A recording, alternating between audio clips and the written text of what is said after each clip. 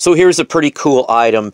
If you don't know the markings on things like this, or you don't even maybe know what this is, you're going to miss a really good item here. Now, I paid a dollar for this. I instantly knew what it was only because I've been to a ton of military shows and I've seen the numbering system on these. This is what I would say is a radio operator's tool for stripping wire. That's all this is.